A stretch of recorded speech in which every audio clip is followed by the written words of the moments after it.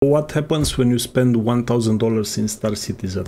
The concierge status is assigned to backers with purchases equal or exceeding $1,000. So yeah, no concierge status for me I guess. I heard of this project when it was in its Kickstarter phase and I followed its development ever since, but I didn't really wanted to start playing it until in later development stages. Now realizing that's still far from happening, I wanted to see with my two own eyes what the fuzz is all about. I got a few ships a while ago when, when I was irresponsible with my money.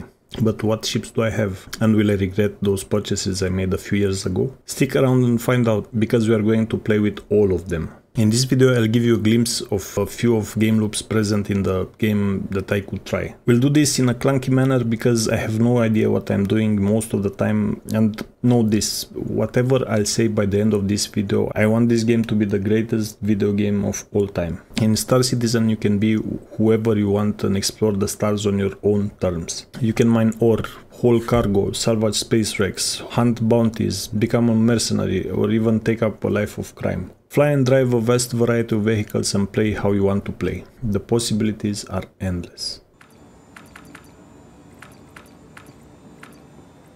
If you can open the door of the room you start out into that is. But let's just say you can open the door. What then?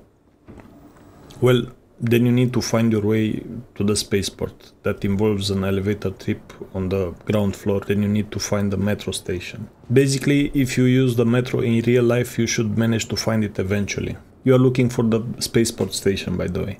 Let's say you are smart and you found it. What then? Then you wait. You are not the main character in this universe, you know. While you wait, you can still smash that subscribe button with all your fury. I'm not editing this part out, by the way. I'm I'm kidding. Let's skip it. It finally arrives, you jump inside and pray it doesn't glitch out or anything. Uh, at your destination you might realize you took the wrong metro. Jump back in or wait for another one if you missed it and go back to the main hub. Just look at the signs. When you see the spaceport line, rejoice because you're almost there. A few more turns later, you finally arrive at the right station. While you wait, you can smash that. No, never mind. We are in business already. During the commute, you can look at your character from the outside camera and regret you didn't invest 30 more seconds during the character creation. Now, following the signs, you will be in space in no time. You are looking for the customs area. When you see these blurry billboards, don't you worry. It just means your 4090 RTX video card is not good enough. Or perhaps your 64 gigabytes of RAM is somehow faulty. Who knows? They load eventually, but I digress. You are actually at the spaceport and you can call a valet to bring your ship in one of the hangars. I hear if you have a concierge status, one CIG employee warms up the engines of your ship personally but I'm not sure. But let's be real though, that sounds highly unlikely. Use one of the fleet manager terminals to order one of your ships. And I hope your hangar looks better than mine. I took all this time explaining this trip to you so you understand the following thing. Everything in this game takes time and Star Citizen will not hold your hand too much. CIG added some quality of life features like the ability to see a map in your mobiGlas and even add waypoints and stuff, but this is the extent it will go, I'm afraid, and at least for now. We'll give you another short example. I'm a fan of simulators and I have all sorts of gear from TrackIR to a Thrustmaster, Warthog, HOTAS and joystick. Now I think you realize I play IL-2, Microsoft Flight Simulator and DCS among other things as I want to justify my purchases. This game has the most convoluted and hard to set up controls in my opinion. I to this day I couldn't make my TrackIR to work. And I know how to use it in every game that supports such thing. It's easy to start and set up. Not in Star Citizen though. Anyway, with that out of the way, let's get in space, shall we? If your ship is as small as my ship compared with the size of the hangar, welcome to the Poor's Guys Club. Take a second to pose in front of your ship, perhaps your next Tinder date will be impressed. Center this instead of your pick, she will fall into your lap, I promise. Stay tuned, I'll reveal my full hangar by the end of this video. Look, I'm not making the rules, okay? I have to play this dirty YouTube game to keep people hooked, you know? Once you're happy with the screenshot, jump in. Enjoy the great detail of all the moving parts and the animations put into these things. Now you need to start the engine yourself, but before that you can take a tracker permit certification. If you manage to do it, it means you are qualified to track and apprehend very low risk targets, meaning you can take the easier missions. Press U to toggle the power and I to start the engines, then left Alt plus N to request takeoff clearance. You can do it from the MFDs and buttons inside your cockpit too, but I have no clue. I am just following the instructions shown in the bottom right of the screen. Or you can request the clearance from the mobiGlas, comms and friends. Look, I have no friends, lol.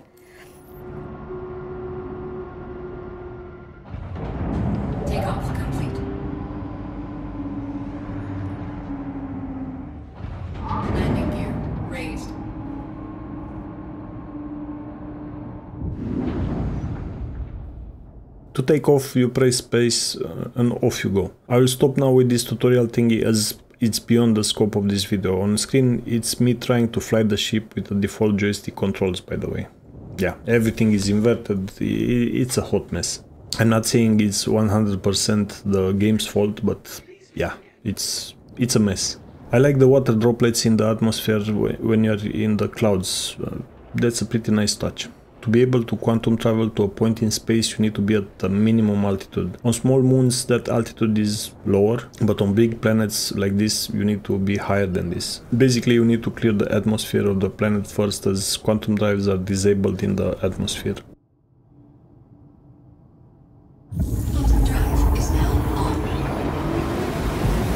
Once everything turns blue, you can press the left mouse button to go. And once in warp, you, you can take some more pretty screenshots or even go around your ship. Sadly, this small fighter doesn't have anything else other than the cockpit, so no playing pool in quantum travel with my imaginary friends. After almost 4 minutes, I arrive at my first waypoint and I try to ignore the ugly moon LOD mesh that pops up when I exit the quantum travel. After just a few seconds, my quantum drive starts pulling again.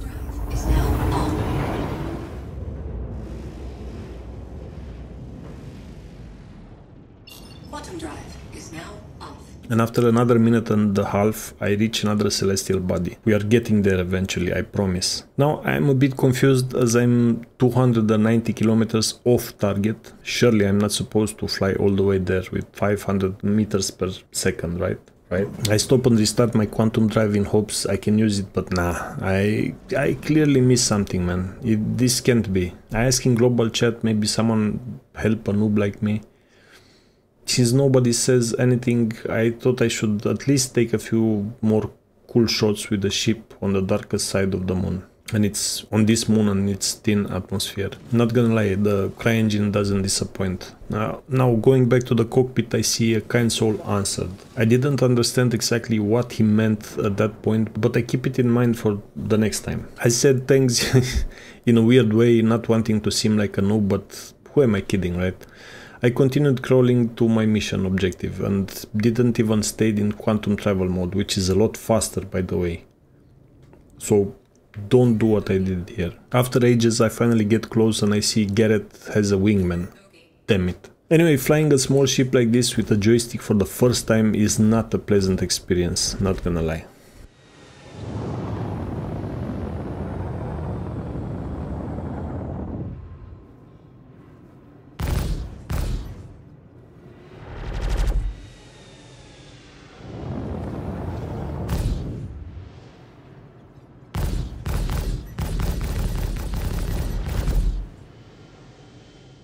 At some moment I switch to the other guy and my mission completes somehow, make, making me think someone else killed my target or he crashed into the moon or something, I don't know. My flying is terrible anyway, I recommend you start flying with the mouse and keyboard first.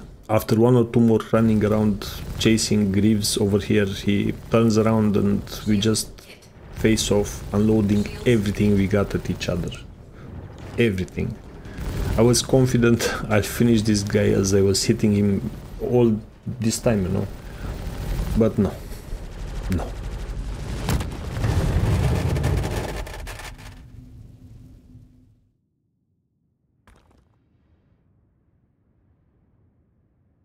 So I crash land on this empty moon. It's cute how Brizzles here still explains me how to navigate the verse while I already have other problems I know no solutions for. And my ship is dead dead. Like dead. I only have some emergency red light on. Other than that, it's off completely. So I exit the ship and look into the distance. Well, rip. There's minus 20 degrees outside. So I ask in general chat, what do I do? Uh, what do I do now? As I have no clue. Brizzles for the win, man. I'd give I'd give this man a cookie as he was very helpful.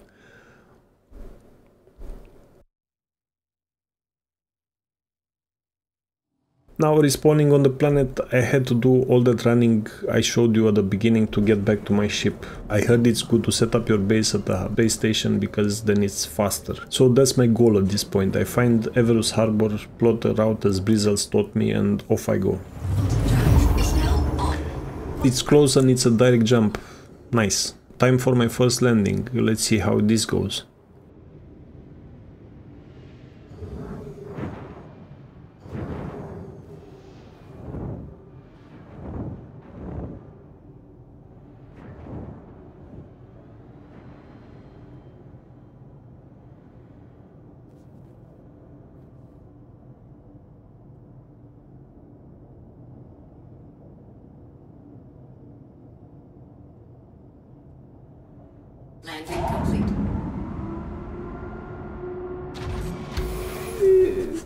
Then I go check in and I hope uh, they have a spare room. room 1. I feel important right now. Off I go to room 1, I find the mess on the floor, I decide to clean it like Jordan Peterson taught me. But then I change my mind, what am I doing, right? This is a video game, not real life. TLDR, I failed to change my spawn point to this location because I don't know what I'm doing. This game should need some contextual tutorials, damn it. Upset about my failure as a light fighter pilot, I decide to have a go at other types of missions. And I get out my Drake Cutter. I know this ship has some cargo space, not much, but enough for these missions. Arriving at my ship, I notice the low poly hatch. Yeah, it is because it only costs 55 uh, bucks you know so yeah this is the polygon budget of a 55 dollar ship you know and I wanted to say this game will not show its age by the time it comes out in the year 2044, but I guess I took a glimpse in the future. Anyway, cool interior, I liked it. I have a bed and all the good stuff. My camera has a weird rotation as I sit down on the pilot's chair.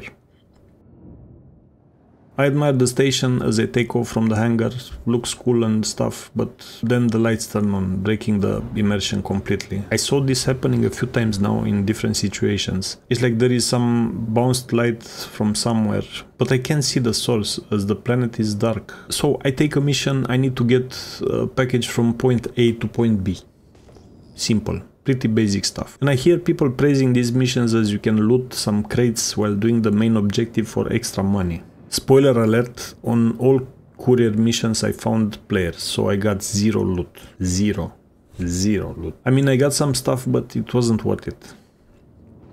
No idea how people recommend these missions for money, as they seem camped by players 24-7. Tell me in the comments if I should I don't know, take certain types of missions or I don't know if I did something wrong. Anyway, let's do this. I enter the first structure by opening the exterior door. In this game you need to depressurize the inner chamber before you go in. It's a nice touch and the animations are pretty fast. Once inside I see a crate but I don't figure out how to get that ore into my inventory.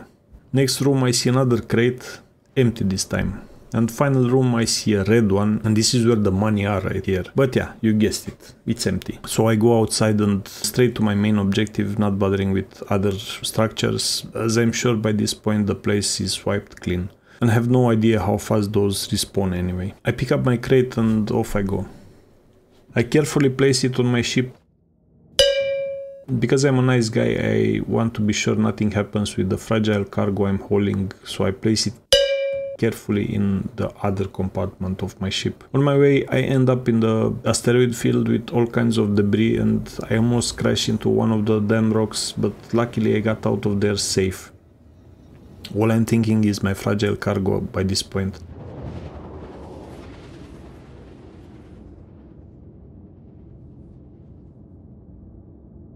I end up in a pretty toxic looking atmosphere. I wonder how it's like to live on such a nasty looking moon.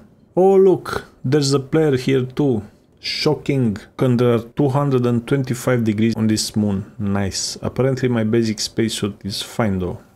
Anyway, once in I put my box into another box and that's it. Mission done. That's the game loop. Crap payout though. My second mission gets me stuck under the ground so I have to backspace out of it. So how do I become rich in this game, man? How? I know how. It's time for some mining, baby. Hell yeah! Let's do this. Let's see if this is any better because I wasn't impressed with the Pew Pew and Courier mission so far. So now I present you my MISC Prospector. I kinda like the looks of this ship, but does it look like $150? I don't know, you tell me. It sure has some cool animations. Anyway, I heard this is one of the most fleshed out gameplay loops in Star Citizen. Let's find out if it's true, you know. I hear everyone is saying go mine on Cellin. That's a moon of Crusader. And I'm a simple man. I go mine on Cellin. Even if I'd like to go mine in some asteroid field to be frank for, I don't know, immersion. But before that, people say I need to set my base of operations on CRU-L1. If I want to mine there, because it's the closest place with a refinery. Again, not knowing anything I comply. It was a pain to find that station, but it's beyond the scope of this video. Let's just say I struggled to find it, but once I did, I went there, visited medical and changed my spawn location. Nice.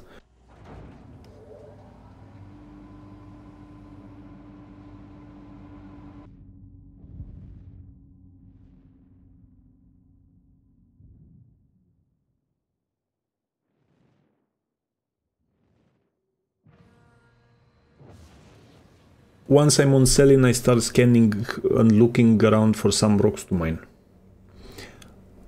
I find a good rock with a high percentage of bexalite. That's the most expensive ore besides quantanium according to this graph. I hear quantanium is very volatile and explodes if you don't get it into a refinery in 15 minutes or something. So I'm not going to even try that for now. And I started chipping away on this rock. The aim is to charge the laser by increasing the intensity until it gets at optimal power and after that fully charges the rock pops like popcorn of course. This is the most basic way i could describe the mining process. As it has a lot of nuance you know. There are a lot of mining heads active and passive modules that contribute to the laser power and precision so you can tailor it according to what you want to mine. Some rocks for example are impossible for this setup i'm running. Anyway, because I'm a monkey, I I go into overcharge mode, making the rock very unstable, not realizing how big is the impact of me increasing the laser power mindlessly. When this happens, it's advised you stop it and back away, in case the rock explodes, so you don't die like a noob. When it finally breaks, you hover over the individual pieces to scan them. When all parts are scanned, with right click you can uh, go into extraction mode and scoop all that juice into your cargo hold. And this is pretty much it, rinse and repeat until full. Anyway, you go back to base now and hope that your elevator doesn't bug out ejecting you in space after landing. Or you call it and it's missing entirely. So yeah, if you get past the elevator final boss and manage to store your ship and get to the refinery, congratulations, you made it pilot. I sold my load directly to the trading console as I have little money at this point anyway but you can refine the ores and then transport them and sell them for extra alpha UEC. But yeah, I'll try that sometimes into the future when the game releases perhaps. Mining is fine and all, but what about pew pew in space with big guns, you know? Big guns, big guns. The, where are the big guns?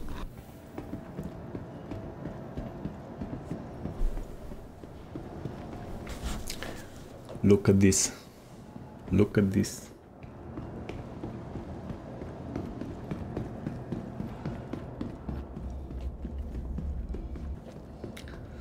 Look at this baby. Now, compared with my first ship, the Arrow, this feels a big chunk of my hangar, isn't it? Very cool looking ship. I love the looks of it. And take a look at my big gun. Yep. This is what a $260 ship looks like. Let's go inside. I promise it's not broken, guys. Wait, wait, wait, wait, wait, wait. Oh my god, how do I enter the damn ship? oh Jesus, I'm filming now, Chris. What are you doing? There you go. And now I, I promise it will close eventually. Come on. Come on. Yes. And and here to the left is the kitchen. And after that we have the two beds.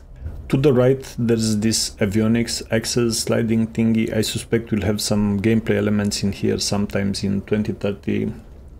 Or it's just a weapon rack and I talk out of my ass. Then there's the engineering station I know nothing about. I guess I can power the thing up from here too. This feature seems pretty useless to me. and I think the ship has a turret, but yeah, we're not gonna bother with that. Anyway, let's see the cockpit now, enough fooling around. Once on the pilot seat, this ship is not that different from the others I've flown so far. And it's a pity. Poor visibility to the sides, but luckily I won't be turning my head because I couldn't make TrackIR to work, so doesn't matter. It feels beefy and armored,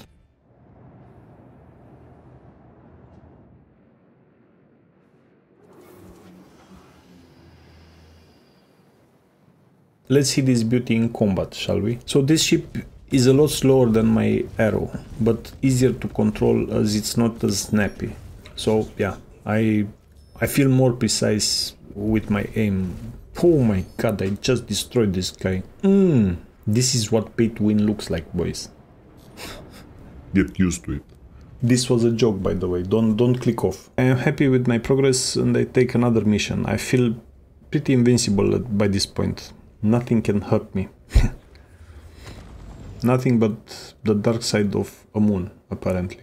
So I took a few more missions, managed to do them, and I wasn't happy with the payouts. It looked like mining pays way better. At my skill level, that is, because I'm sure better missions will pay a lot better than this, you know. So this thing has decent firepower, I kinda like it. Uh, and this is with the default loadout, by the way. And now, what else can I do in this game? So we reach this part of the video, huh? One thing that I don't want to do in this game is to engage in FPS combat. If I want um, to play a shooter, I have plenty of shooter games I enjoy, so I wouldn't play Star Citizen for that, no way in hell. But I did it for this video. I think I almost got AIDS while looking for a shop and gearing up my character. Well, I didn't really get much gear, but still, I don't see the point of this entire game loop into this game. I don't want to upset people because I know many of you love it, but yeah, it's just my preference. And I hate a lot of development time goes into this crap that doesn't go into other game loops I care about, you know. And I'm sure this is the case with all of you. Everyone has preferences, you know. So I got my mission and off I go. Evict illegal occupants. Now once I'm close, I can't not notice the ugliness of this landscape and how structures and props pop in. Ooh. It's pretty ugly.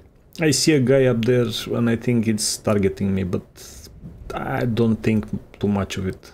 I tried to find a place to land and I think I broke one of my wings in the process because I forgot to drop the landing gear. this is pretty cool. Now let's see how how's this gameplay and be done with. And look, I think he will attack my ship.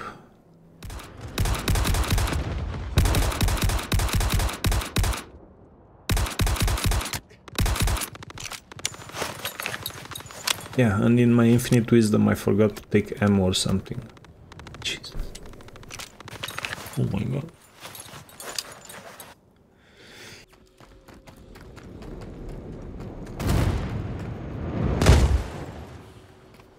And there goes my ship. And his ship. Well, rip me, I guess. Nice game loop, Chris. This wasn't a complete waste of my time. Well, with all this said and done, Whew, this was a long video. Let's draw some conclusions, shall we? So I got all these ships and my hunger reflects how much I hope and want this game to succeed. And no, I'm not regretting the purchases I've made because I'm a sci-fi fan and I like the premise and the vision of the game for the most part. I delete the FPS combat today but yeah, you're lucky I'm not in charge. As I said, I follow the development of this project since the beginning, especially because I'm an environment artist myself and I like some of the stuff CIG is doing. But in the process of getting more funding, the feature creep is off the scale, guys. I see a lot of stuff in the game as of today, but it's a pretty buggy experience. Oh, and I didn't even touch most of the activities and the ones I did showcase it was only at the surface level. But from what I see into the alpha right now and what I know to be the goals of Chris and his teams, in 2035 we'll still wait for features even on the game loops we have today in a basic shape or form. So listen, I'm not judging too harsh here. I did my part, I contributed to this madness and I hope Chris delivers a truly unique and fun game. I just hope, like many of you, to still be around when it releases, and I also hope the graphics will still hold when that happens because I can already see outdated stuff here and there even if the game overall looks great. So I fully recommend this game if you're a sci-fi fan uh, with a beefy computer, even in this state. The good news is, even if you have a bad PC and generally don't want to pay big bucks for upgrades all the time, by the time this is a more feature complete product, even your bad PC should be able to handle it, you know. Anyway, enough of my rambling. What are your thoughts and experiences with the game? I'm really curious. Thank you for watching. Make sure to subscribe if you watch this until the end and tell me if you liked it and if you want more Star Citizen content or this will be a one one hit wonder as there are plenty of people covering the game. Watch this next if you want to see my honest review of Starfield. Until next time, take care and see ya.